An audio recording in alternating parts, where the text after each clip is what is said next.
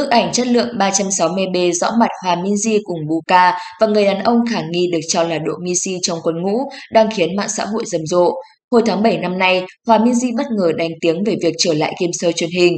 Đây là show cô vô cùng yêu thích và đã không ít lần xin tham gia nhưng đã lỡ hẹn lần này đến lần khác vì xảy ra chuyện đột xuất.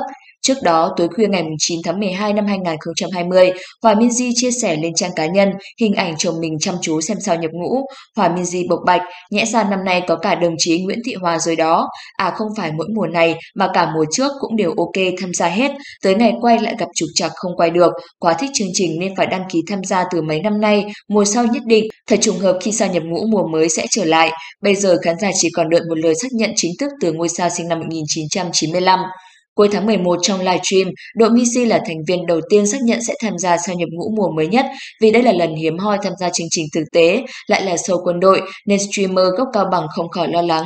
Điều khiến ông bố hai con đau đầu nhất có lẽ là việc anh phải thực hiện đúng quy định của quân đội, cắt đi mái tóc vuốt kèo lồng lộn để giản dị nghiêm túc với mái đầu ba phân.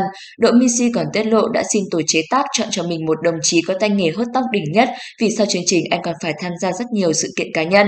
Cư dân mạng rất ngóng chờ Hòa Minzy và đội Missy mang đến làn gió mới cho sao nhập ngũ khi ở mùa này là phiên bản kết hợp dàn sao nam và nữ. Nếu cả Hòa Minzy và đội Missy cùng tham gia chương trình thì sao nhập ngũ mùa này hứa hẹn sẽ mang đến rất nhiều tập thú vị. Khán giả chắc không còn xa lạ gì với độ lầy lội và hài hước vô biên của Hòa Minzy. Khó có thể mường tượng được nếu nữ ca sĩ tham gia mùa này và sánh đôi cùng độ Missy thì chương trình sẽ bùng nổ cỡ nào.